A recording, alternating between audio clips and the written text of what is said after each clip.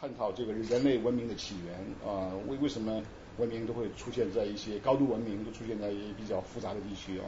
或者一些比较艰困的地区啊。那么在东南亚这个地区，从来没有达到一个高我们现在标准的一个高阶的文明啊。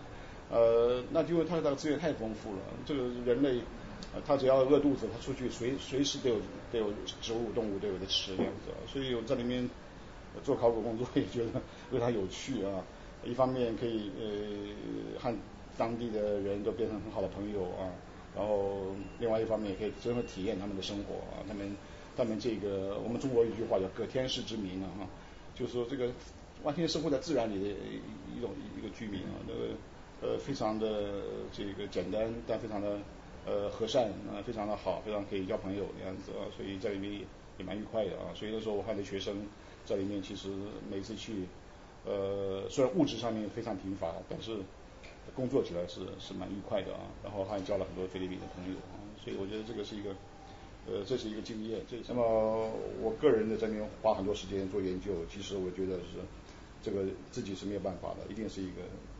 要很多人一起合作的团队的啊。现在不只是这个单独学科，而且一定要多学科的，很多学科在一起合作，而且是一个国际性的一个议题来合作哈。所以。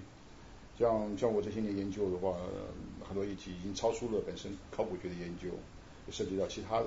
就像遗传学的、遗传基因的这这方面的研究啊，呃，像的一些动物学的研究。我们现在我们的 project 里面就包含动物学、遗传学在在一起在做这个这方面的研究啊，而且不只是台湾，而且国外的这个这个团队一起一起来做啊。所以这个问题，我想太平洋其实是一个，呃，等于是没有被。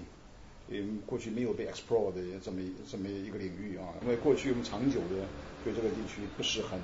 呃很关很关切，我们的研究的焦点不是在这里啊，那么也希望日后的可以慢慢的我们的触角可以到太平洋去啊，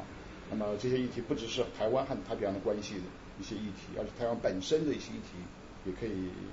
可以把它发掘出来啊，像这个呃这个童老师做太平洋的，还有我们的中研院同事啊。专门很集中在做的太平洋某些岛屿上的这些当地的这些议题，我觉得都可以进一步的去去把它发掘出来来做，所以应该在至少在学术上面也是具有很大的一个潜力这样子，而且我们台湾也真正的可以真正可以去被引挖到这个太平洋的这里面去啊，而过去往往很多人观念太平洋也许是落后的一个地区，我们台湾也许提供很多经费的经济的资源就够了啊，